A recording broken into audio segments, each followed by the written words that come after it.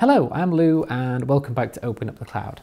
Testing. Today we're going to be talking all about testing and test strategies. So if you're doing the Cloud Resume Challenge, you're probably doing so because you actually want to end up landing a job at some point. Now, a lot of companies will care a lot about testing and they're going to ask you questions about testing as part of the interview process. So it really helps if you've got an understanding of the different types of testing. So when they ask you questions about like, how would you test this or how would you think about testing something else, that you have the answers for those questions. So where we'll start is actually by looking at some theory and then what we'll do is I'll run through that theory as quickly as I can with you and then we'll get into and actually show you some code and what we'll do there is we'll create some integration tests for an HTTP API that we have set up and also some end-to-end -end tests and talk a little bit about additional test frameworks and things and additional things for you to look into as well. Okay, so types of testing. Which types of testing do we have and how do you choose between those different testing types? So when it comes to testing types, what you'll often see talked about, and you can have a go Googling this after this video, is this thing, which is a test pyramid. So basically along this axis up here, along the y-axis, what we have is value, but along with value, we also get brittleness, and we'll talk about this in a second. And then this one down here, this is just sort of volume or amount, number of. Down this end, we have unit tests, and then as we go further up, we have things like component tests, we have integration tests, or what would be known as UI testing, or maybe even end, uh, end-to-end testing. So what we want is we want lots of these tests down here, these unit tests, because they are generally they're faster, they're quicker, they're more reliable, they run uh, the same every time. And then we want less and less as we go higher up. So we want uh, quite a lots of these, we want some of these, and maybe just a few of these types of tests. Okay, so that goes through some of the theory. But what, what does this look, stuff look like in practice? Let's actually have a look into this code now and have a look at how some of these uh, testing practices and layers can be implemented in actual code. So if we take a look here, so what I've done for my integration test is I've done something very simple, as simple as I can possibly imagine. In this case, it's, look here, we've got five lines of code. So let me break this down. In fact, let me, let's quickly recap actually how our API works. So let me zoom this in as well.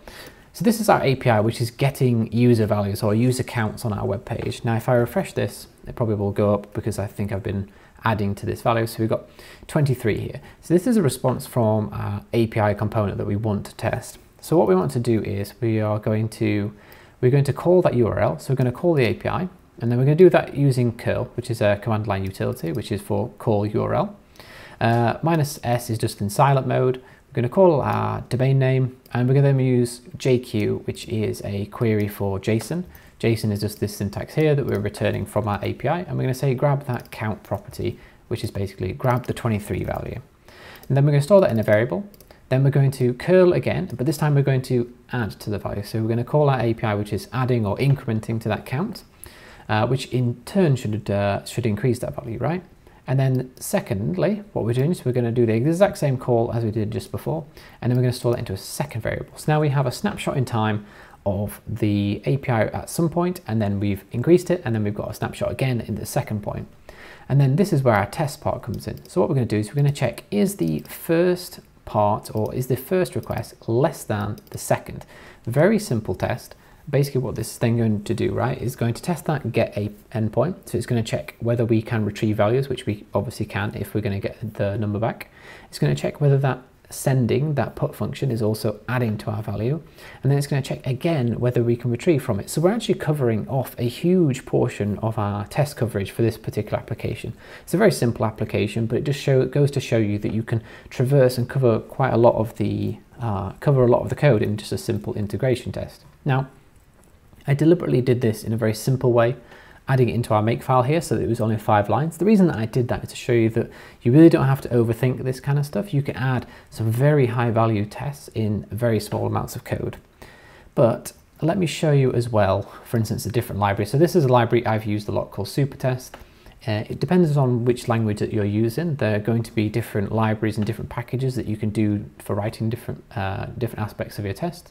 And Supertest is basically a library for doing HTTP, for doing HTTP API testing, similar to what we've done with curl, but it's just it has a bunch of help wrappers around it, some niceties.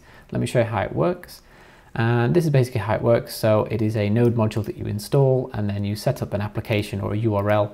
You make a request to that URL and then you can make some assertions on the response. So you can expect things like the content type headers to be JSON, the content type, uh, content length to be 15, and expect the, the status response to be 200. So we can, we can dig into that and add a lot more assertions and it's just a little bit nicer. Obviously what we've got here uh, in this test itself is quite crude, but quite crude but very simple. This will run on pretty much any Linux machine as well and obviously over here we have to install node and npm etc. So trying to just avoid that to keep things simple within our integration tests. So that covers off integration tests. Let's have a look now at end-to-end -end tests. So I've got an end-to-end -end test set up as well and let's jump in and have a look at that. In fact, again, before we have a a test, let's have a reminder of what our application looks like. So this is our application uh, or our resume and the important part is down here. So we've got a visitor count, visitor count 23. So if I go ahead and refresh this, uh, pick a language apparently, uh, and you will see the visitor count goes up and now we're at 24. You can see that at the bottom of the screen. Now if I refresh that a number of times, we can see that visitor count going up. So for our end-to-end -end test, what we want to do is we want to grab this page and we want to check this value. So what that's going to do is going to check, does our website return on the domain that we expected? Does our count appear exactly where we expected? Does our API work? So this end-to-end -end test is covering a lot of our app and a lot of our infrastructure. It's covering the back end and the front end. So let me show you how that works in, in some code as well. So because if you see here, when I do a refresh on this page, you see there's a little momentary blip before that visitor count increases, right? There's a little pause in time. Why? Because the way that we've implemented this is on the page we have some JavaScript code that's calling off to our API. And that's basically making the page dynamic. But what that means is if we are to download this page, when it first arrives back to us as a user, it doesn't have that visitor count in it. So when it comes to testing, we can't just download this file and test the file. We have to test the file as if it's a browser. We have to have the sort of JavaScript environment uh, set up for us. So the way that we're going to do that and emulate that in this case is using this library here called Puppeteer. Now, what is Puppeteer? Puppeteer is basically a, it's called a headless, headless Chrome tool. So let me show you the repo. This is what it looks like. It's a headless Chrome tool. What is headless?